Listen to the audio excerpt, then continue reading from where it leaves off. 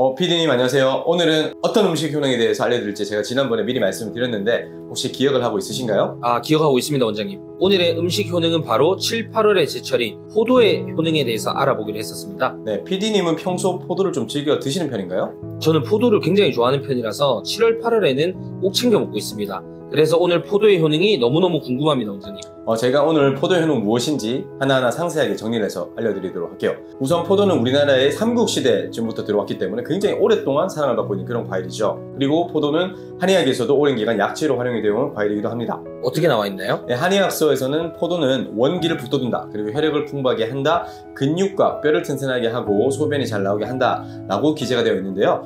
과일의 여왕이라고 불릴 만큼 각종 영양소를 풍부하게 함유하고 있는 포도는 과육뿐만 아니라 이 껍질, 포도 껍질에 있는 영양분이 굉장히 많습니다. 이게 되게 중요하거든요. 아직 효능에 대해서 제대로 시작하지도 않았는데 몸에 좋은 과일이라는 게 벌써 느껴지는 것 같습니다. 그렇다면 포도의 효능 첫 번째는 뭔가요, 원장님? 네, 포도의 효능 첫 번째는 심장 기능을 강화할 수가 있습니다. 포도에 함유되어 있는 식물 섬유질인 팩틴은 동맥경화를 유발하는 침전물을 용해시킬 수가 있거든요. 그러니까 혈관 내벽을 깨끗하게 만들 수가 있다. 이렇게 보시면 되는데 이는 심장 발작 그리고 뇌졸중을 예방하는데 큰 도움을 주는 것이죠.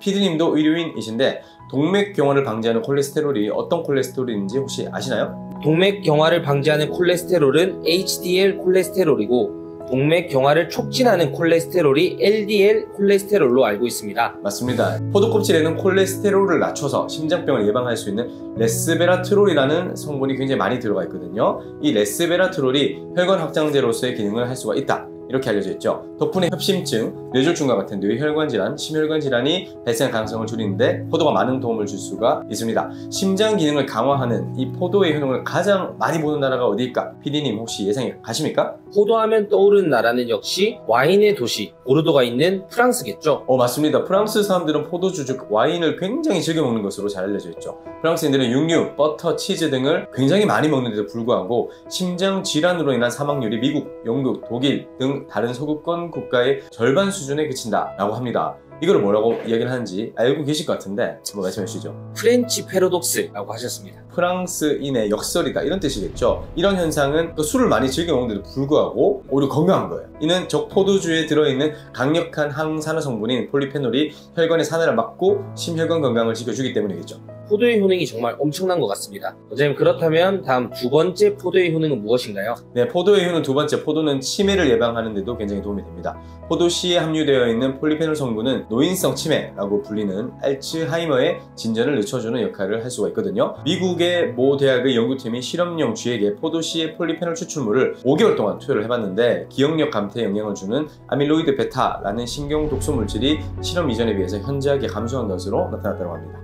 그렇다면 다음 포도의 효능 세 번째는 무엇인가요? 예, 포도의 효능 세 번째 포도는 피로 회복에 굉장히 좋습니다. 우리가 포도당이라고 하잖아요. 포도당의 포도가 진짜 이 포도예요. 그만큼 포도에는 당 성분이 많이 함유가 됐다고 보실 수가 있는데 포도당과 과당은 소화를 촉진하고 피로 회복을 할 수 있도록 신체를 향상시키는 과정을 도울 수가 있겠죠. 그리고 포도는 알칼리성 식품이거든요. 그렇기 때문에 주석산, 타닌, 칼슘, 비타민-C, 비타민 B1, 비타민 B2도 함께 풍부하기 때문에 피로 회복을 위해서 드시면 도움을 많이 받을 수가 있습니다. 제가 피로감이 많은데 이번 여름 포도를 제대로 한번 챙겨 먹어봐야겠습니다. 포도의 네 번째 효능은 무엇인가요? 네, 포도의 효능 네 번째, 포도는 해독 작용이 굉장히 뛰어납니다. 포도에는 좀 전에 말씀드렸던 주석산, 사과산, 그리고 펙틴, 비타민 B complex, 탄닌과 같은 정말 다양한 영양소가 들어가 있거든요. 이러한 포도의 성분들이 장의 원활한 활동을 돕고 해독 작용을 촉진하기 때문에 변비를 해소시키는데도 큰 기여를 하게 되는 거죠. 몸속 노폐물을 원활하게 몸 밖으로 배출시킬 수가 있다. 이렇게 말씀드릴 수가 있을 것 같은데 각종 노폐물이 몸속에서 뭉쳐서 생기는 결석이 원활하게 빠져나갈 수 있도록 도와주는 것도 바로 포도의 작용입니다. 이러한 포도의 해독 작용은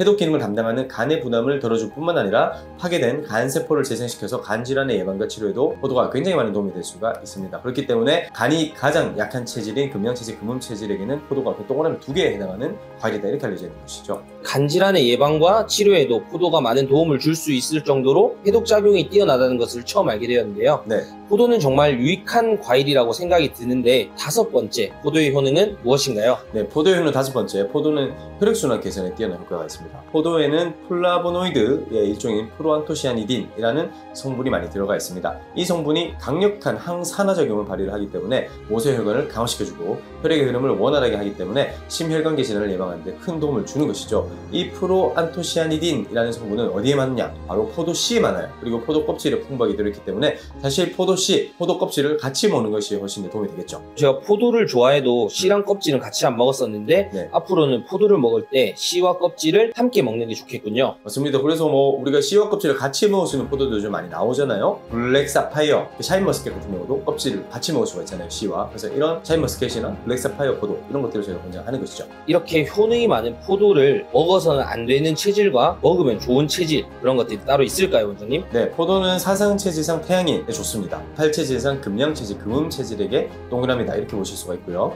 그리고 사상 체질상 소양인에게도 좋아요. 그래서 토양 체질, 토음 체질에게도 역시나 유익한 과일입니다. 이 네 가지 체질은 꾸준히 섭취를 하시면 굉장히 좋은 과일이 바로 포도이거든요. 그런데 이에 반해서 소음인에 해당하는 수양 체질, 수음 체질은 한 3모 정도입니다. 나쁘다까지는 아니지만 주 한 2회, 많게는 주 3회 정도까지만 드실 것을 권장하는 거고요. 그리고 사상 체질상 태음인에 해당하는 목양 체질, 모금 체질은 X, 그러니까 해롭습니다. 포도가 몸에 해로운 체질이죠. 이분들은 되도록 포도를 드시지 않으실 것을 권장을 드리고요. 드시더라도 소량만 드실 것을 권장합니다. 그렇다면 원장님 오늘 이렇게 다양한 효능을 가진 포도에 대해서 알려주셨는데 다음번에는 어떤 음식의 효능에 대해서 알려주실 계획이신가요? 다음 시간에 알려드릴 음식은 비밀로 하도록 하겠습니다. 지금까지 자연의 한의원 박철지 원장이었고요. 영상을 시청해주셔서 감사합니다. 다음 영상에서 뵙겠습니다.